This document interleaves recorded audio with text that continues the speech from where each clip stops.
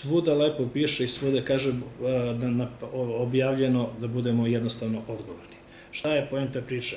Znači, koliko god je nama virus nepoznanica, bit će sada i novina, bit će novih istraživanja, dobit ćemo neke informacije i podatke koje trenutno ne znamo. Mi sad imamo podatke koji su stari recimo šest meseci. Za mnoge stvari to je malo. Ali, osnovna stvar da se radi o respiratornoj, kapljičnoj infekciji. To je ono što smo svi učili u svim knjigama infektivne medicine. Čovek je najzarazniji jedan do tri dana pre pojave simptoma. I to je ono na što mi ne možemo da utičemo.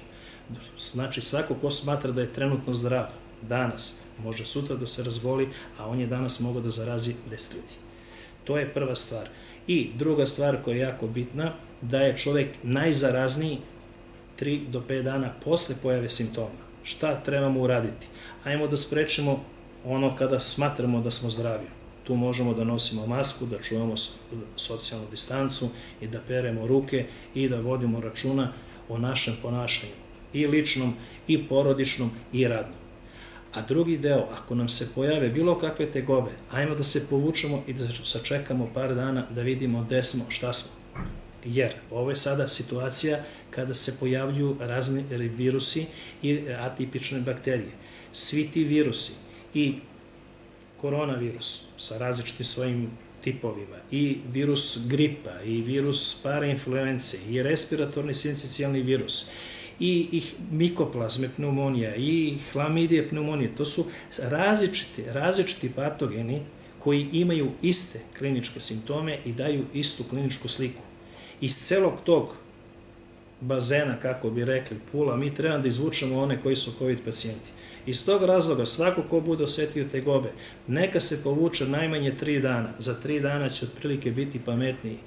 A nakon toga ima COVID ambulantu u domu zdravlja, gde može da ode da se iskonsultuje, u slučaju bilo kakve potrebe, pacijenti iz COVID ambulante se upućuju u opštu bolnicu Pirot, gde se radi dodatna diagnostika, laboratorija, rengenski snimak i po potrebi konsultacije naših specijalista, pre svega pulmologije, infektologije i interne medicine, koji su u toj nekoj prvoj liniji, nakon čega se pacijenti ili vraćaju izabranom lekaru, odnosno lekarima u COVID jedinici, ambulanti ili se primaju u COVID jedinice na dalji tretman u opštoj bolnici Pirot. Prema tome, dve su stvari bitne.